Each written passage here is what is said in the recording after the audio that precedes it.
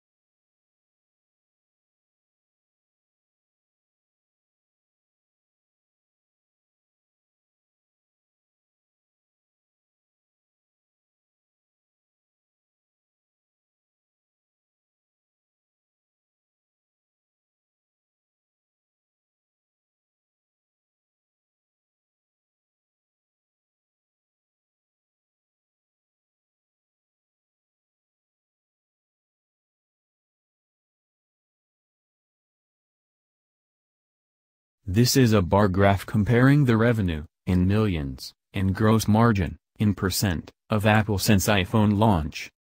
The gross margin had a high of around 46% in quarter 1 F 2012 and a low of around 32% in quarter 2 F 2008.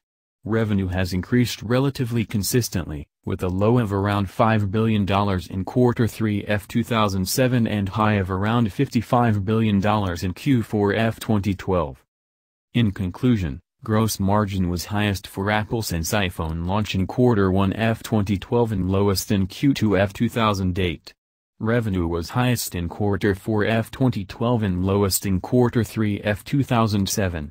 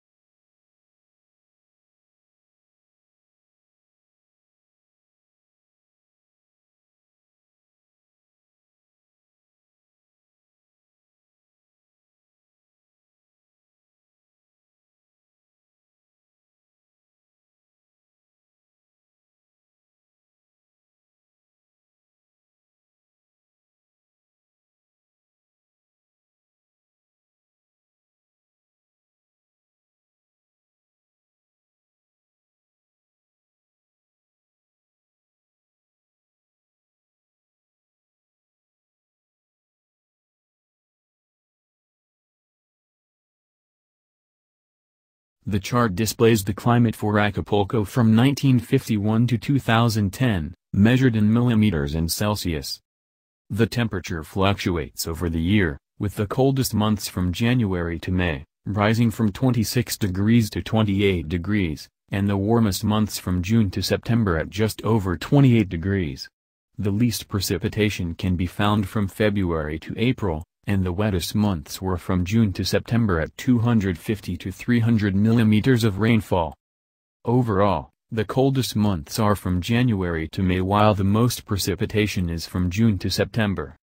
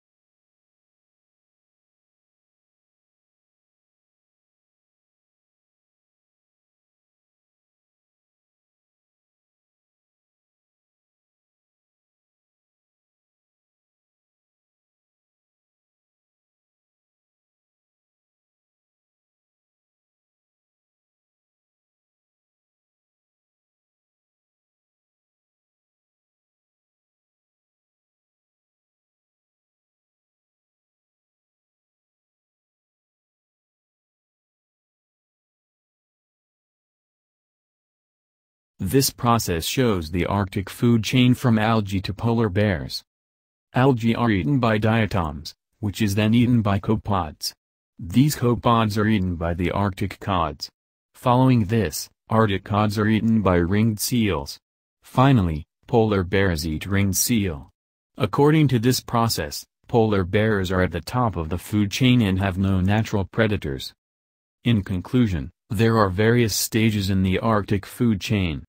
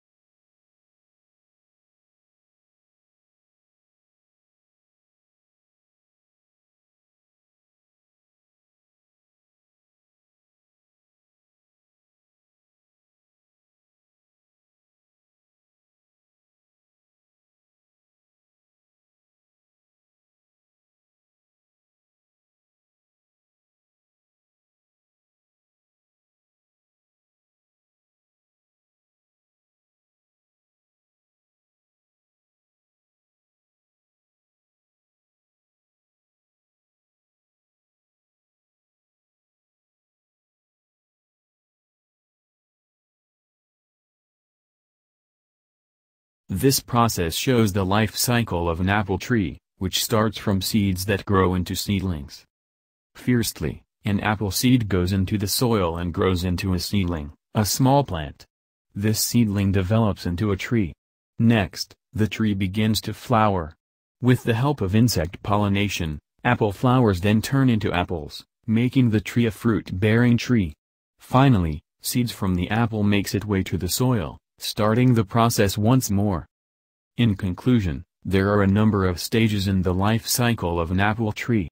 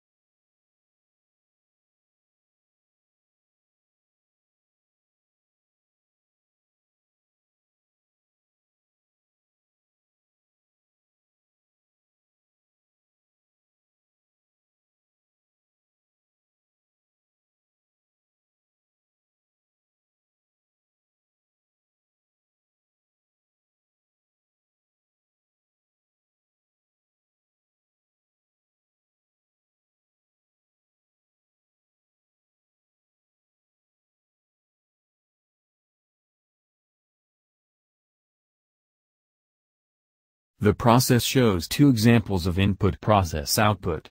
The first example shows materials as the input, factories as the process and the product as the output. In the second example, data is the input, the process uses computers, and information is the output. In conclusion, there can be various examples of input-process-output.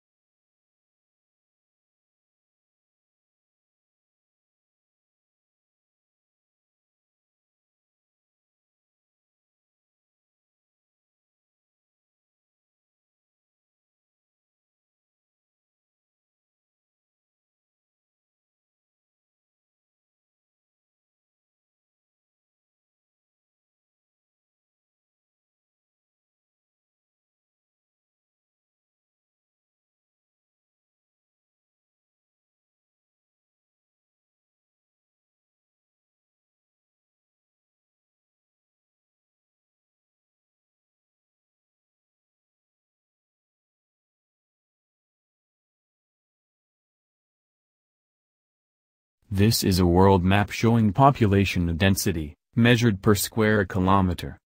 The most common color on the map is light pink, indicating areas where the population density is between 0 to 25 per square kilometer. The least common color is black, indicating a population density of between 1500 to 9000 per square kilometer. Overall, the map shows that areas with lower population density are more common than areas with higher population density.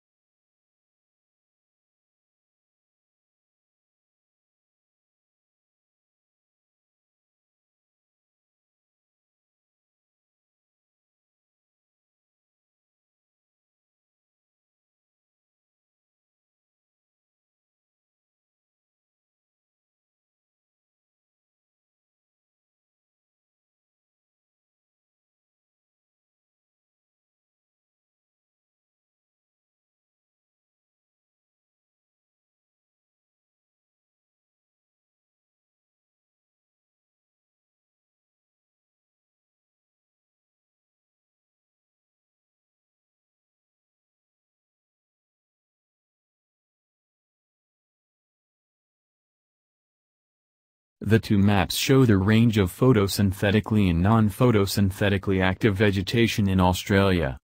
In Map A, non-photosynthetically active vegetation was found in the southern coasts of the continent, which is shown in blue, while photosynthetically can be seen in the northern and eastern coasts, which is displayed in green.